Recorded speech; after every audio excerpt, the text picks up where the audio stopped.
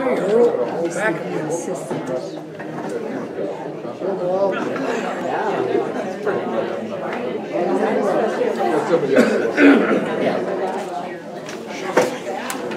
What? Shuffling. That's what I'm, I'm doing that too. I'm watching. No, uh, well, I was, I had a field. July, I fell out in the yard. Could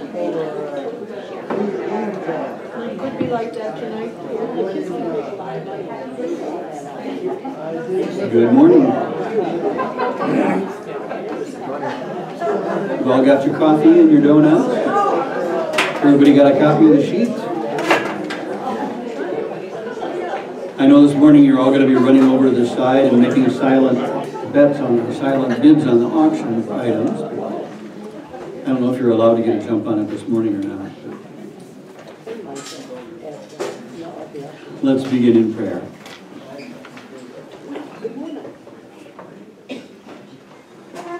Spirit of truth, thank you that you are the truth.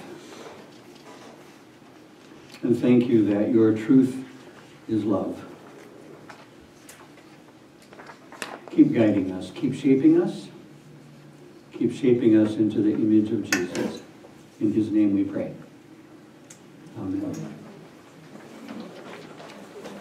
We have been the last couple of weeks wading into Gnosticism, which is so much fun. Um, it's important stuff to get a handle on because uh, because it is still um, it is still running wild in our world today. It's a, it's a popular philosophy today in lots of different forms. Uh, it shows up. It shows up in some some of our literature. It shows in some of our novels. It shows up in a lot of movies.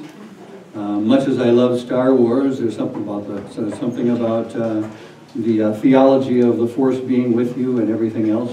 Uh, there's, there's, it's never mind. It runs all over the place. So we can have fun with it and play with it, but know where we stand and know where our grounding is and know what the truth is. I think that's important. With this one, last time we were looking at one branch of Gnosticism that was pretty far out there, pretty wild. We can see how it would develop from Jewish circles uh, frustrated with the problem of evil in the world and trying to make sense out of it and reinterpreting Genesis especially to tell a different kind of story that made sense to them in a different way.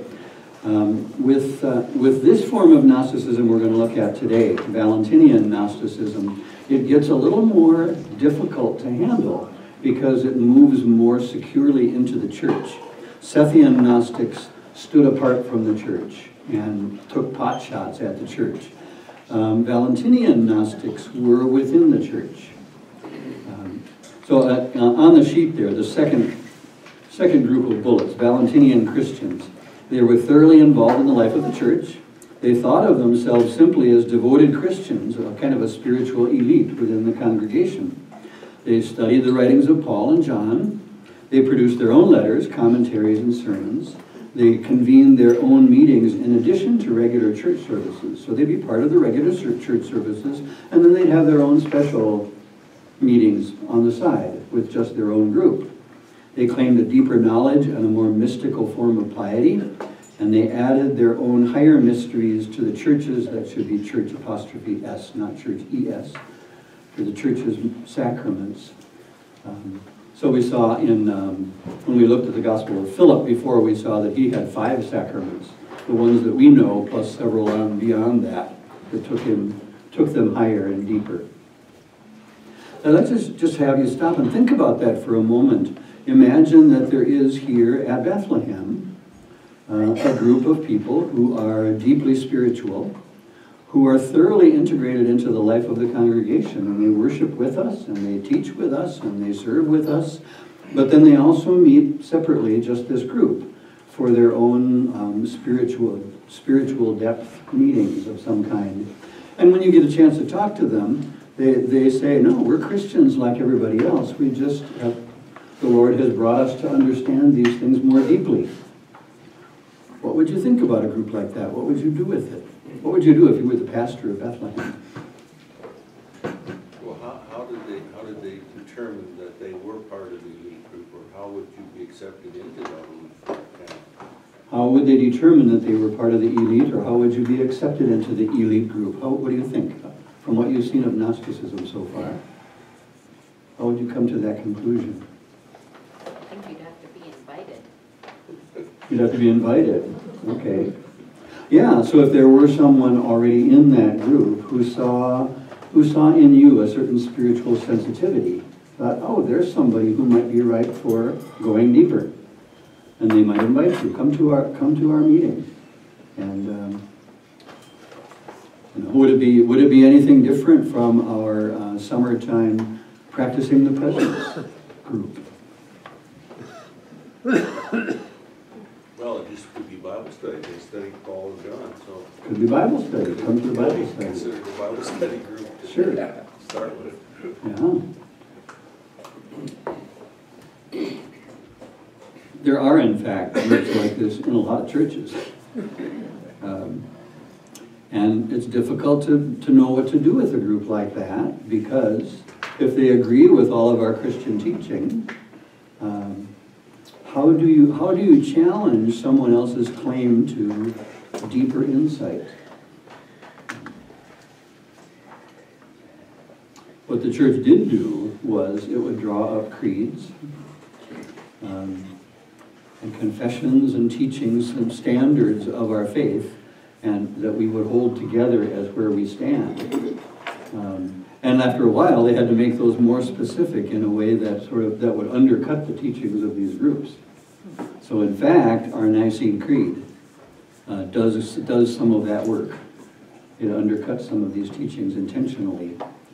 But what do you do when it's just, I think a lot of churches faced this with the charismatic movement back in the 60s and 70s. So here's a group that suddenly, a group of people that are uh, fired up for Christ, fired up by the power of the Holy Spirit. They have scriptures that they can, that they can focus on. How, and there's, there, you want to be able to celebrate it. I, I don't want to stop the work of the Holy Spirit. I don't want to quench what God might be doing. Um, and yet, if that group begins to kind of separate itself off a, with a mentality that says, we're kind of the next step up, that, that really destroys the fabric of Christian faith. It's a, it's a difficult puzzle. Well, Valentinus, uh, the guy after whom this, this, um, this movement is named, he was an, Af- now we're at the top of the page, an African church leader born in Egypt in the early second century. Uh, so this is not all that long after Christ and the apostles.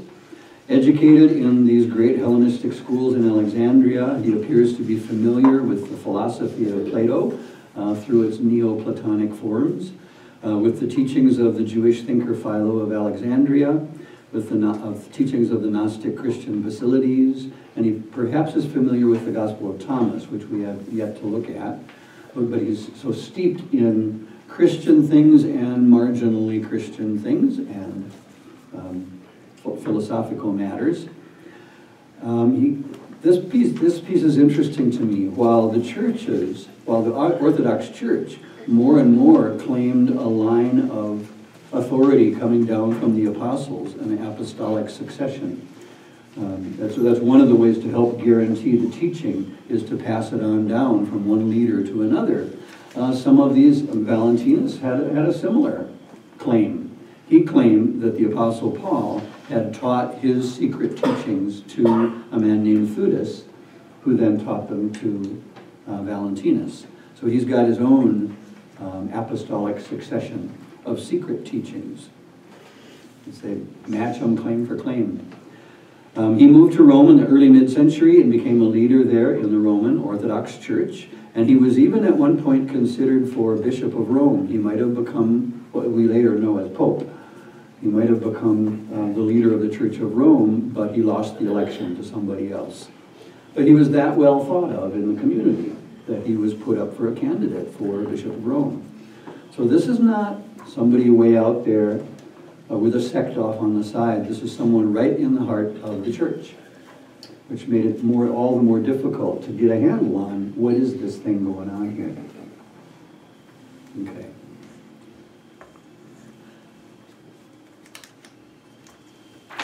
A couple of uh, scriptures as we move into this. There is language in the New Testament that can give some steam to these kind of things. Um, when we were in the, in the same-sex conversations that we were having on Thursdays, we looked at Romans 1. Um, in Romans 1, Paul's talking about what's happened out there in the Gentile world. Uh, Romans 1:18. The wrath of God is revealed from heaven against all ungodliness and wickedness of those who by their wickedness suppress the truth. Um, verse 21 Though they knew God, they did not honor him as God or give thanks to him, but they became futile in their thinking, and their senseless minds were darkened. Claiming to become to be wise, they became fools. Uh, we do have that language in the New Testament of human thinking becoming darkened, and we don't know the truth anymore. Uh, that's right there in the gospel, uh, right there in, in, in Romans. So it's there to pick up on. It's one of the ways you can talk about the human problem and what Christ comes to do. Here's another one. Would you look, please, at 1 Corinthians 2.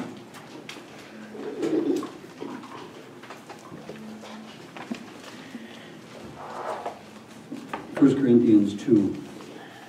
In 1 Corinthians 1, Paul is contrasting the cross, the wisdom of the cross, the foolishness of the cross with human wisdom.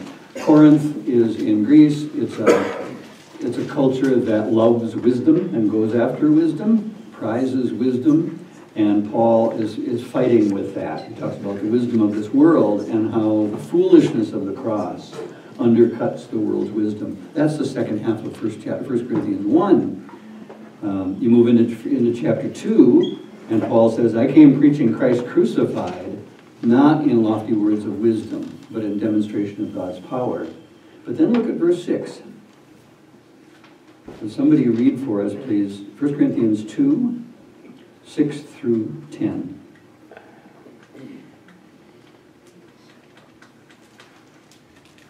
Please.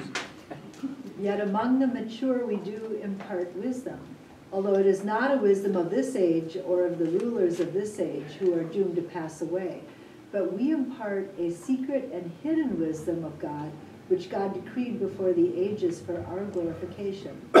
None of the rulers of this age understood this, for if they had, they would not have crucified the Lord of glory.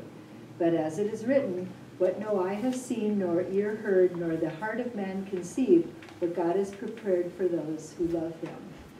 God has revealed to us through the Spirit, for the Spirit searches everything, even the depths of God.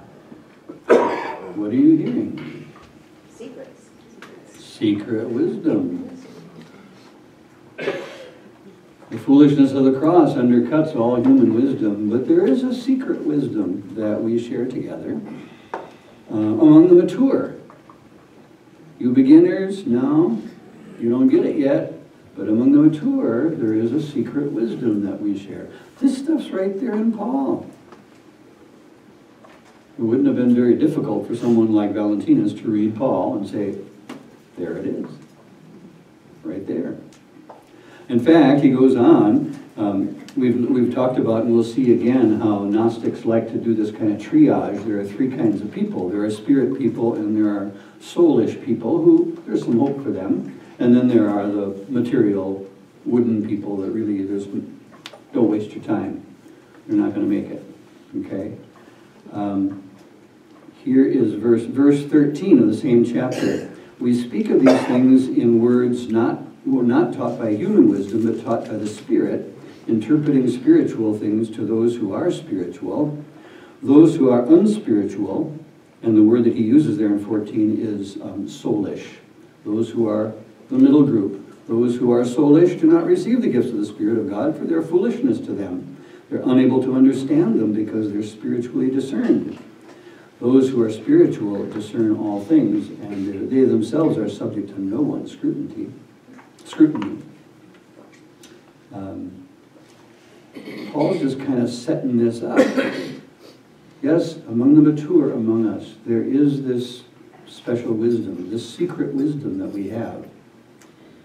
And these poor, these poor Corinthians, who come from a culture that absolutely love wisdom and secrets, they're just salivating by the time you bring it on. Chapter three, so brothers and sisters, I could not, I could not speak to you as spiritual people, but rather as flesh people, as infants in Christ. I fed you with milk, not solid food. You weren't ready for solid food. Even now, you're still not ready, for you're still flesh people. As long as there is jealousy and quarreling among you, are you not just flesh people, behaving according to human inclinations? He's gone back to where he started with this community dividing into factions. He uses the very language of spiritual triage to say, um, sorry, folks, you're not even soulish people, you're just flesh people. He's playing games with their poor little minds. I love it. Okay. And when you do press Paul on, because he means that there is a, a hidden wisdom. Paul, what is this hidden wisdom? It's the hidden wisdom is God's plan in Christ from the beginning of time that was hidden and now is revealed and wide open for gathering up all of humanity into Christ. That's the hidden wisdom. And so he'll keep on circling right back to the cross and to Christ when you finally press him on what's the wisdom you're talking about. It's a little crazy making and it's very fun. Okay.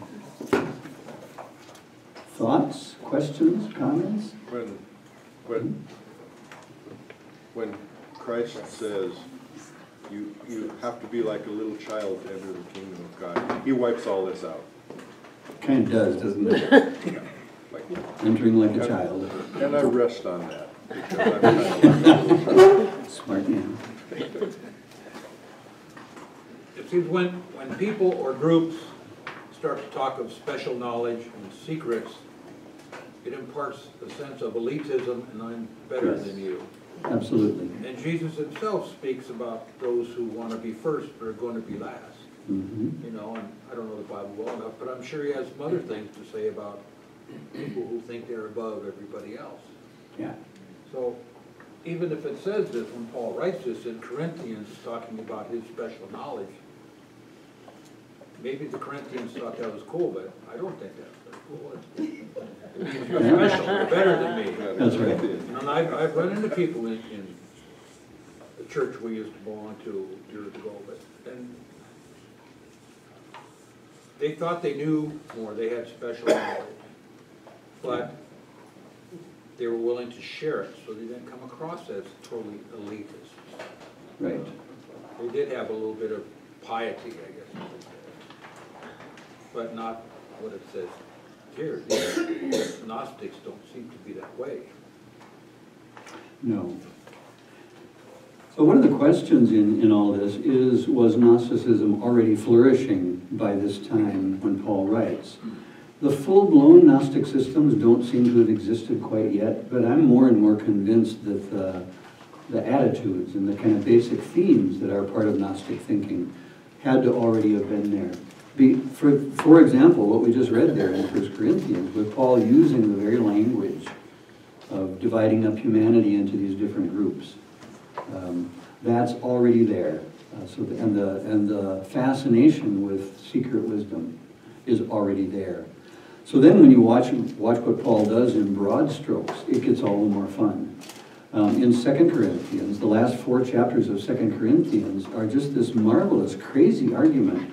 People have come into some of these wisdom teachers have moved into Corinth after Paul was there, and they're teaching their secret wisdom and their special stuff.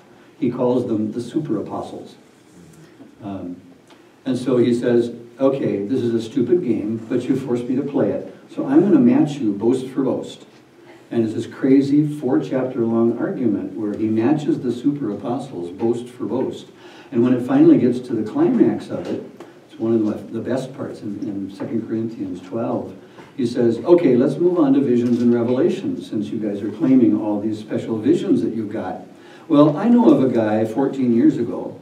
He has to go back 14 years to find one. But I know of a guy 14 years ago who was caught up to the caught up to paradise, caught up to the third heaven, and saw things that oh, I'm sorry, he's not allowed to tell you what he heard. there, they're secrets.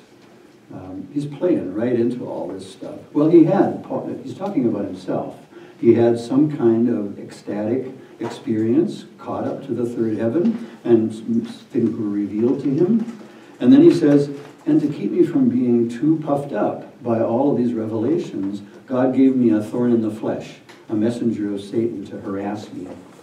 And I kept on pleading with God to take it away, and God said, No, my grace is enough for you. My strength is made perfect in weakness. So I'm going to boast of my weaknesses, not my visions. He just plays their game of all of the special stuff that we get, and then he just turns the whole thing upside down and says, No, we belong to the one who went to the cross. That's what this is all about. It's this fascinating, fun argument. I think. Did he talk so much in riddles that they didn't even get it? I don't know if they got it or not. I mean, it it almost sounds like a lot of these agnostics and, and some of these other people that, I mean, looking back now and what you're saying and stuff, it- it's pretty obvious what, what he was doing, but for a lot of these letters, Yeah. I think right over the top of their heads, so, from how much follow. And it's easy when you're brought up in, in some of these people as they're, you know, they're, they're charismatic and, and they're the, the leaders and it's easy to block out what people are saying. I think you're right. We, we, we read and hear selectively. And so the very fact that, now, and I have to grant at the same time that Paul has a mystical strain in him. I don't think there's any question about that. Paul has, has mystical experiences and wonderful, amazing things happening in his life. And that's tantalizing. And it's not gonna, we're not gonna somehow dismiss that and say, nah, he didn't, those things weren't true. Um, But for um, Valentinus, you know, uh, decades later, close to a century later, to be studying Paul's writings, he's clearly picking out pieces that he likes from Paul and he can run with, and he has to ignore the other parts. He has to ignore what Paul actually does with them or where he goes with them. But that's kind of what we all do, pick and choose what we want. So is the issue here the secretism and the elitism, um, and the selective choosing? If, if we're talking about mysticism and Paul, then how do you, um, how do you balance that? Kind of secret knowledge? There is secret knowledge, but what Paul does with, what Paul does with the secrets is he says, this was kept secret in God's wisdom until Christ came, and now it's wide open. So in Paul, the, the mystery is blown wide open and proclaimed. Um, So even though he certainly has experiences, they, they all feed the wide open gospel that he has. And I think the issue is, part, part of the issue is the, the, the draw of secrecy that does lead to an elitism. It kind of just automatically goes there. And then in addition to that, it's the question of what is our human situation? What's our, what is our human predicament? Um, how do we describe it? What is our need? Um, and Gnosticism basically wants to say that our need is that we don't know who we are um, we're ignorant. And if, when we once discover who we are, then we can progress, then we can, then we can move toward, back toward God again. And Jesus' role then is simply to come and tell us who we are. He's the revealer. We don't really need a savior. We need someone to tell us the truth. Is this idea of the, the secrets and things kind of where the Lutherans have come from on organizations that have secrets?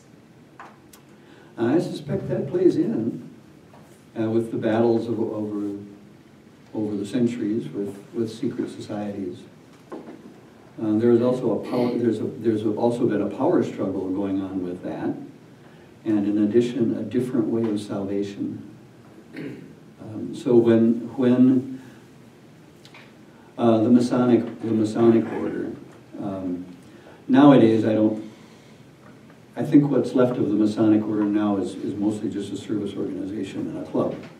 I don't know if anybody really takes its origins seriously anymore. But there was a day when its, when its teaching um, was really a, a counter-religion. Um, it would take the, um, the rituals and everything that were supposed to be kept secret but got leaked out anyway.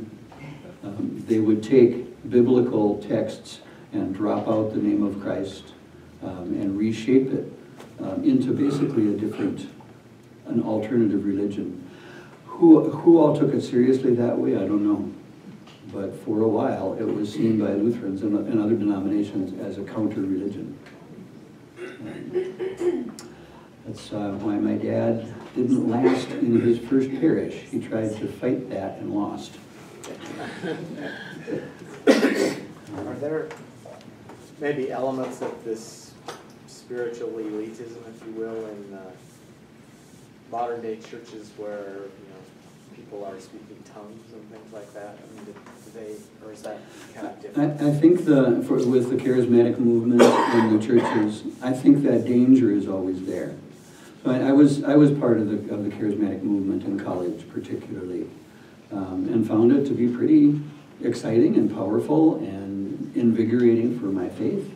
Uh, it really built a, a, a community that was vibrant and, and good, but we found ourselves having to struggle with Pentecostal teaching that in effect set up, you know, the, the more Pentecostal the charismatic movement gets, the more it sets up a two-stage Christianity. You've got ordinary schlucks out there, ordinary believers, and then you've got the spirit-filled, which is um, more and more, I'm convinced, is not biblical. But there are charismatic groups, particularly in the Catholic Church, they've done it well, uh, better than anybody else, where the Catholic charismatic movement has uh, has really been seen, it, been seen as a renewal movement, a renewal of the spirit, and is less, uh, less prone to elitism. Um, so some figured out how to do it and some didn't. But there is that elitism in some of these um, churches where they really think they're the only ones that are going to heaven in Suffolk County. That's right. And there'll be a few others maybe, but When in fact, we know that we're the only ones. Or those jokes where you get to heaven and find this little group of Lutherans sitting off someplace and say, "Shh, don't bother them, they think they're the only ones here.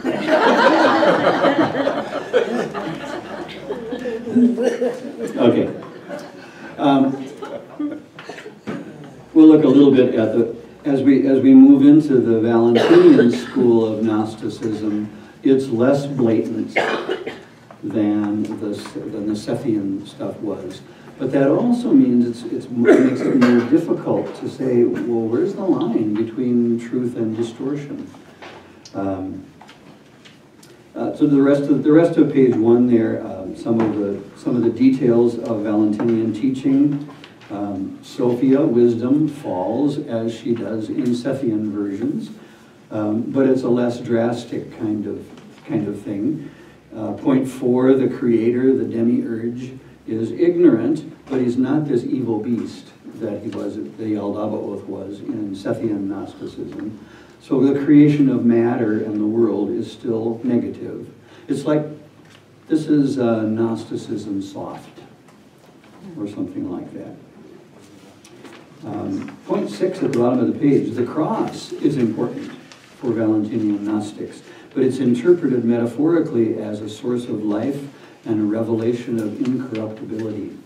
So if on the cross, uh, Jesus can let go of his material being and be set free to be the spiritual being that he is, then the cross can become for all of us um, a, a, a, a declaration of our spiritual freedom.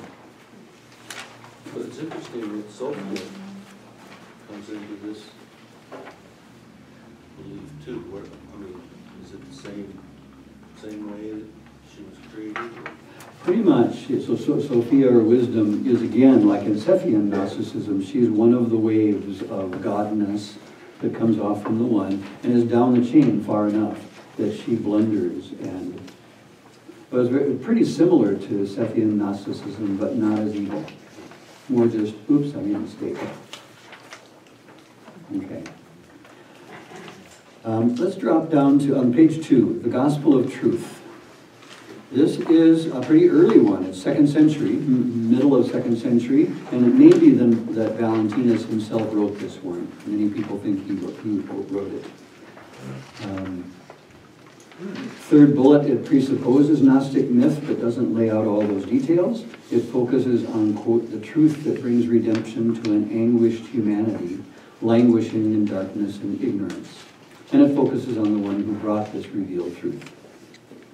So, next bullet, here are the opening words of the gospel of truth. So listen for what, uh, how much of this sounds like what you would want a Christian sermon to say. And if there's anything in this paragraph that makes you uncomfortable. Okay? The gospel of truth is joy for those who have received from the Father of truth the grace of knowing him through the power of the word that came forth from the pleroma, the fullness, the one who is in the thought and mind of the Father. That is the one who is addressed as the Savior, that being the name of the work he is to perform for the redemption of those who are ignorant of the Father. While in the name of the gospel is the proclamation of hope, being discovery for those who search for him. What do you like? What are you uncomfortable with?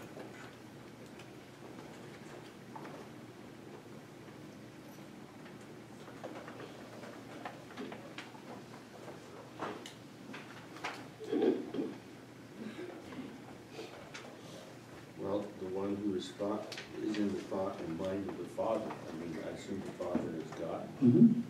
Yeah, that bothers That bothers you? me. Okay. What if that one is Jesus? Oh, well, That works a little yeah. better. Yeah, the one who, Jesus, the one who is in the thought and mind of the Father. In the beginning was the Word, and the Word was with God, and the Word was God. Yeah. You can make it work as Christian. That next line, that being the name of the work he is to perform for the redemption. Yeah, so he's called Savior, but is there really any saving to do? That's the name of the work he is to perform. It just, it's starting to feel just a little slippery. Mm-hmm. Does he mean he is the Savior, or is this just a name that he's gotten? Okay.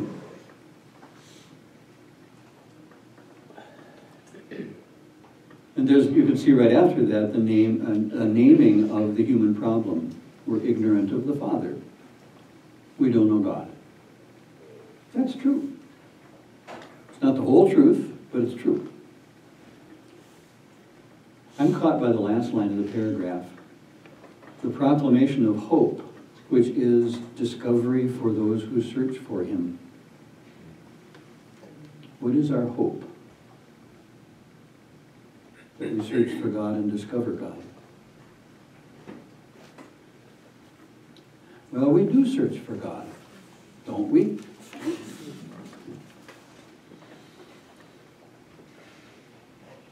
But is that our hope? Discovering the one we search for? That will be saved. That will be saved.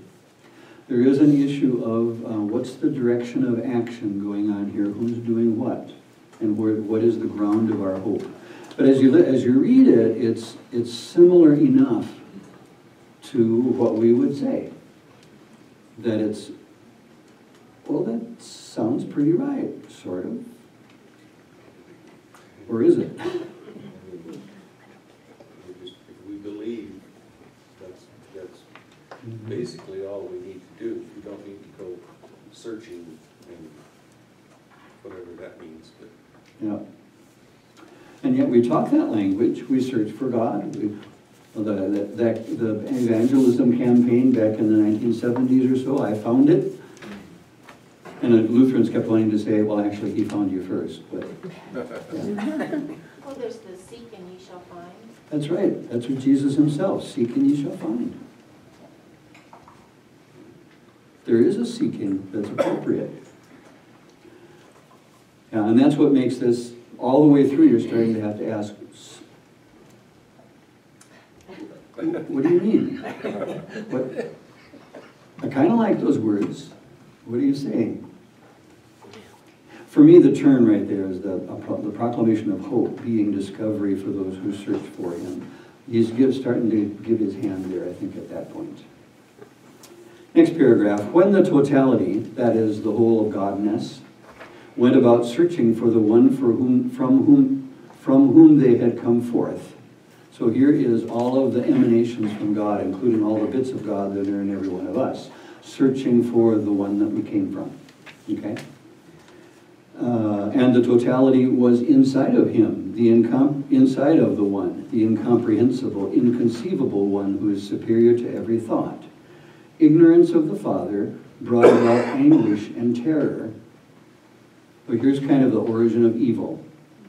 Ignorance of the Father produced anguish and terror, and the anguish grew solid like a fog, so that no one was able to see.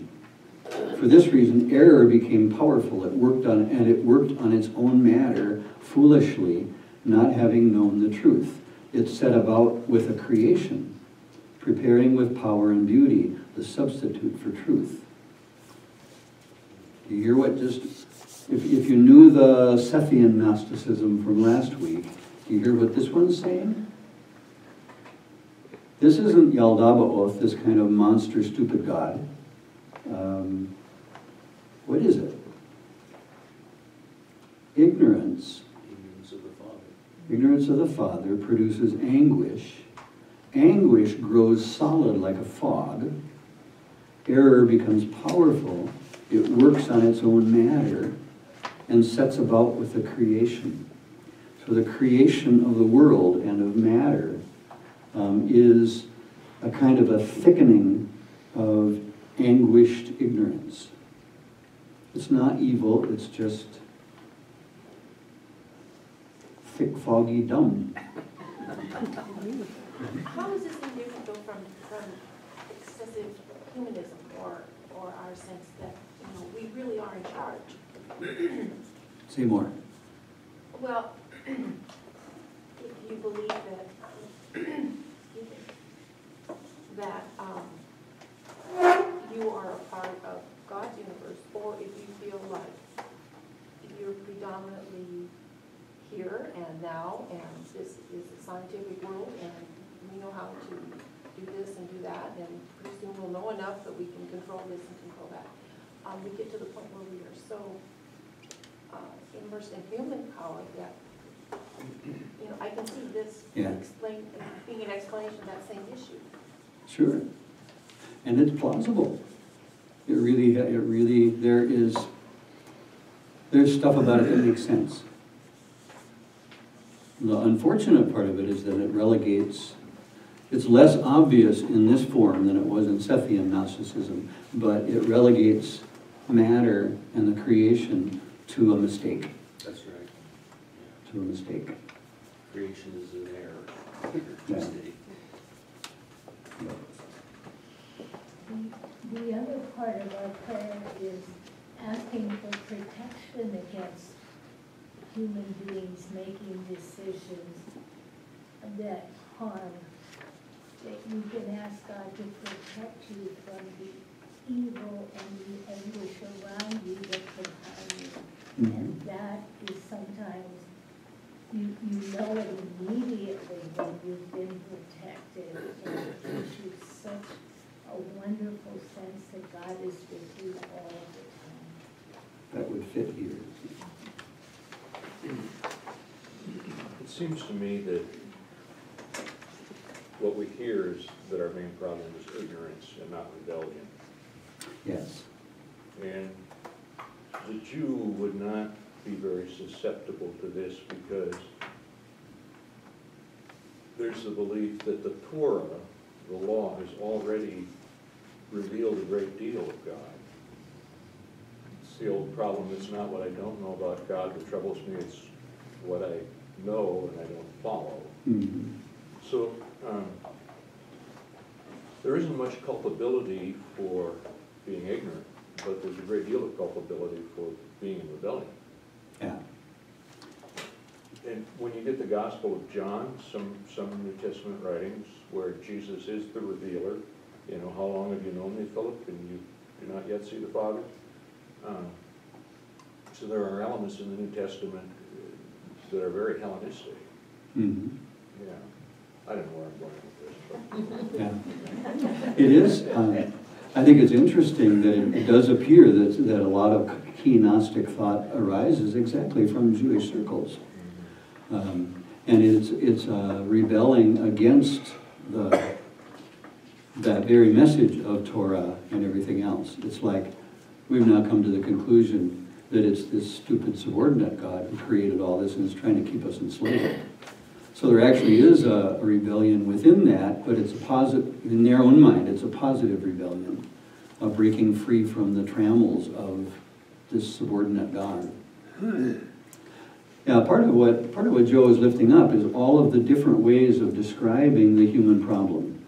And ignorance is part of it. Um, so is human rebellion. So is a base, uh, somehow a basic uh, turned inwardness of ourselves. Um, we can talk about it. So, we, and, and some, and, and in some measure, the problem is that we are in bondage to powers that are outside us. We can talk about our problem in several different ways. Um, to, to limit it to ignorance is gets us off the hook. This wasn't my fault. This wasn't my problem. Okay. Jesus' ministry. Um, next bullet down. Through this, the gospel of the one who is searched for, which was revealed to those who are perfect, through the mercies of the Father, the hidden mystery, Jesus the Christ, enlightened those who were in darkness through oblivion. He enlightened them, he showed them a way, and the way is the truth which he taught to them. Are you hearing a particular verse of scripture there? I am the way, the truth, and the life. Except it's I teach the way and the truth and the life. Just a little different. Uh, next page. For this reason, anger, uh, error, pardon me, grew angry at him, persecuted him, was distressed at him, and was brought to naught. He was nailed to a tree, and he became fruit of the knowledge of the Father. That's kind of sweet, actually. Jesus is nailed to a tree, and he becomes the fruit. I like it. Um, it did not, however, cause destruction because it was eaten, this fruit, but to those who ate it, it gave cause to become glad in the discovery. And he discovered them in himself, and they discovered him in themselves. So eating of the true, eating of the tree that is the cross, eating that fruit, shows you that Jesus is part of you and you are part of Jesus.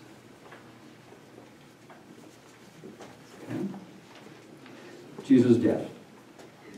After all these, there, there came, this, this is an interesting paragraph because it's going to talk about this book, and the book is not a book. We've got to figure out what this book is. Okay? After all these things, there came the little children also, those to whom the knowledge of the Father belongs. Having been strengthened, they learned about the impressions of the Father. They knew, they were known, they were glorified, they glorified.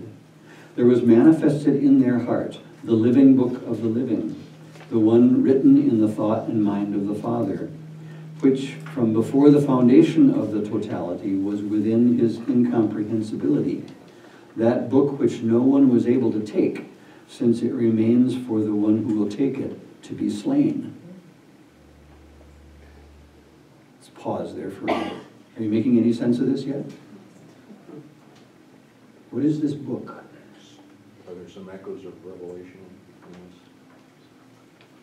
Some echoes of Revelation, the book, the Lamb's Book of Life. Those whose names are written in the Lamb's Book of Life from before the foundation of the world. Okay. Now, the living book of the living, the one written in the thought and the mind of the Father. The thought and the mind of the Father is Jesus. Um, That book which no one was able to pick up and read, since it remains for the one who will take it to be slain. Jesus only could read it, and he needed to be slain first before anybody else could read it.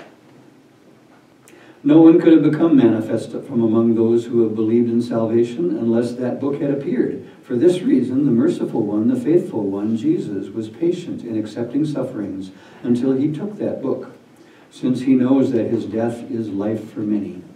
For this reason, Jesus appeared. He put on that book. He was nailed to a tree. He published the edict of the Father on the cross. There's reflections of Colossians right there. Oh, such great teaching. He draws himself down to death through life eternal, though life eternal clothes him. Having stripped himself of the perishable rags, he put on imperishability. You see what happens to him on the cross? What are the perishable rags? His body. His body, his humanness, yeah, his materiality. That's stripped from him on the cross. Yeah, so finally, once Jesus goes to the cross, now we can read that book and take it into ourselves. And we can become imperishable as well.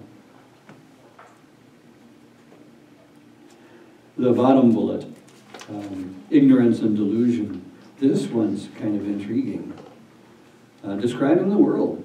Thus they were ignorant of the Father, he being the one whom they did not see. Since it was terror and disturbance and instability and doubt and division, there were many illusions at work by means of these, and many empty fictions, as if they were sunk in sleep and found themselves in disturbing dreams.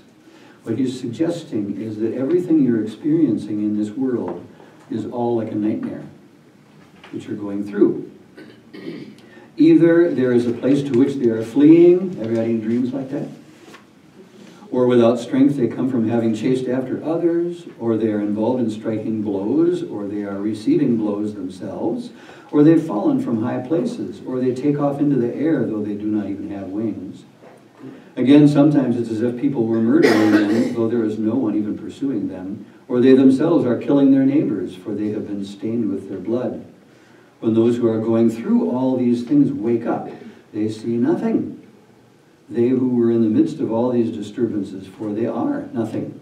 Such is the way of those who have cast ignorance aside from them like sleep, not esteeming it as anything. What is he saying about everything you're experiencing in this world? It's all a dream. It's all a dream.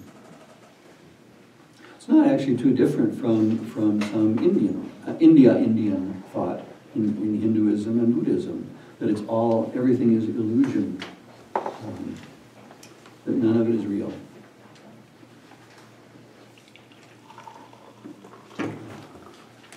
And once you wake up, once you come to know the truth and wake up, you realize it's all been just a bad dream.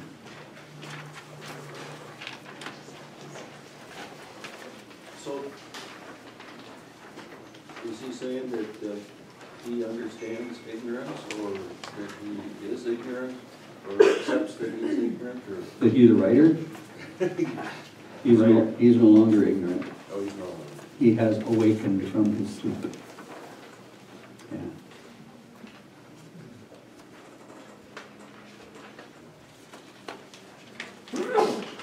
This will be next Sunday's sermon, I thought I would.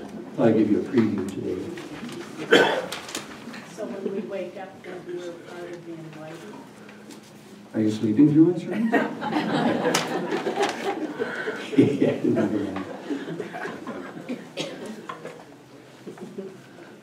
What do you see, uh, what do you see in this that rings true for you? Anything?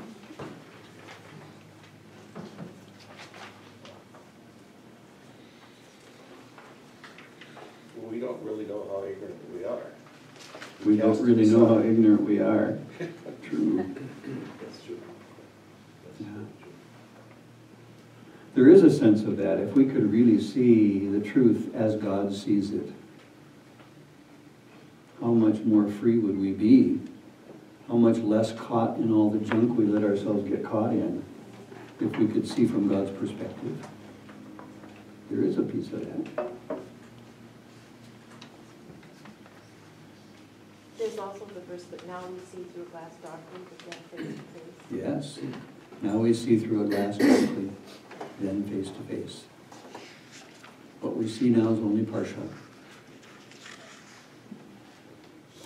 There's just enough contact with things that really are scripturally sound and that are true to life. That this is this this can be tantalizing stuff. And might even feed your faith, given given the right, the right circumstances. Um, And then there are other parts of it that are just a little troubling. Is God not the creator after all? What should I do with this body of mine? Is it something just to be gotten rid of? Or should I be caring for it? What should I do with you? Are you just a bad dream? Or am I actually put in relationship with you? And that's actually one of the, one of the main things that happens with the Gnostic systems, is that, um, is that when you take them at least at face value and follow where they go, my task is to discover, through Jesus' revelation, to discover who I really am, and more and more know the truth about myself and become free from the trammels of this world. Um, but there's nothing about you in this.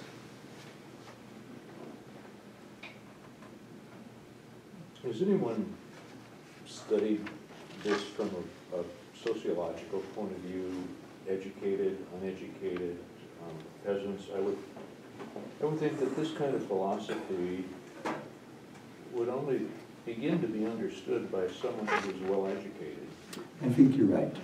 and would appeal to somebody well-educated. I can't, I can't see a peasant farmer, I, I think of my dad, you know, who was very earthy, very down to earth. Things needed to be done, you did them.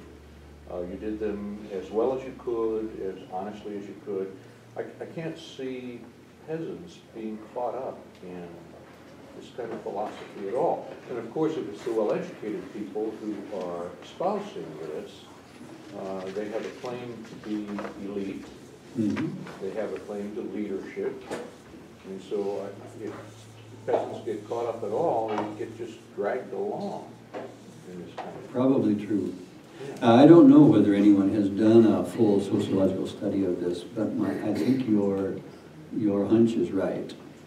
And that also, that also means that this, that a movement like this could never really have been the dominant Christian faith.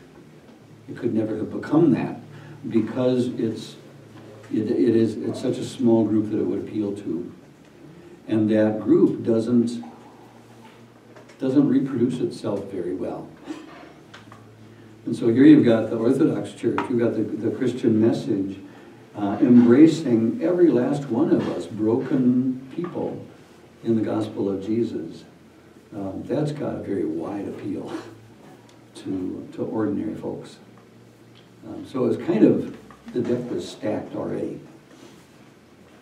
Um, but because the ideas are tantalizing, though the movement can never kind of overcome, it never really disappears either. It just kind of goes underground and resurfaces again and again.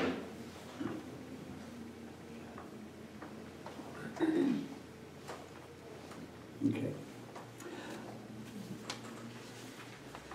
Uh, We could, we could look at, look at some more in here, and there's, um,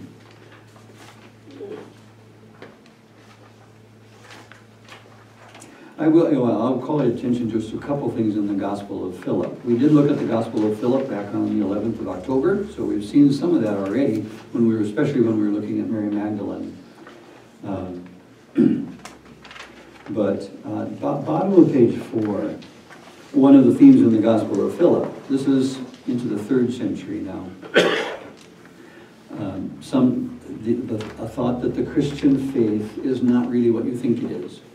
So here's part of that um, elitism within the church. Um, It's claiming to be Christian, but most of you out there who are ordinary Christians, you use the terms one way, but you don't really know the truth of what those terms mean. And so this, this quote, the names, first bullet under Christian faith is not what you think it is. The names which are given to the worldly things contain a great occasion for error, for they twist our consideration from the right meaning to the wrong meaning, Whoever hears the word God does not know the right meaning, but the wrong meaning. It's the same with the Father, the Son, the Holy Spirit, life, light, resurrection, the church. Uh, folk, ordinary folk do not know the right meaning. Um, we can teach you what those words really mean. There's a higher level of understanding of what these things are all about. So you can talk the, got the same language going on in the church, but ordinary Christians understand it one way, and the elite understand it another way. Um, the next bullet, they err who say the Lord first died and then he arose. Truth is, first he arose and then he died. If someone does not first achieve the resurrection, will he not die? What does he mean? Can you tell?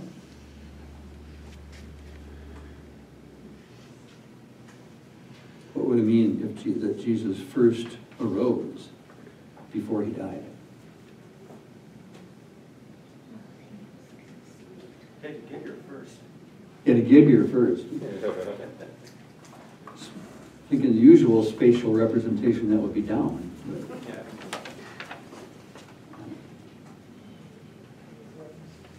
I think what it's, what it's getting after is that the resurrection is a spiritual phenomenon. That Jesus first arose into full consciousness of who he is, and that's his resurrection. And then he could go ahead and die to this world. And by the same token, that's what your resurrection is going to be. Very different look at resurrection. Mm-hmm.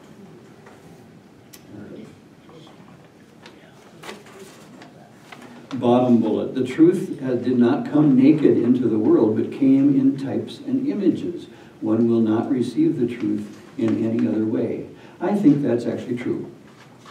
As I look at the scripture, how is God going to get through to us ordinary human beings? Well, the only way God can do it is through one metaphor after another, because we can't see the unvarnished truth of everything. We're limited. And so God has to I'm like a shepherd. I'm like a rock. I'm like this. I'm like that. Um, I think there's something right about that, that God communicates to us through images, metaphors, pictures, and over and over again in Scripture. I think the Gnostics mean something a little different by that claim, however. Okay. Where we're going to go after this is next, next week we're going to look at the Gospel of John. Of all of the of the Gospels that we have in our Bible, the one that the Gnostics liked best was John.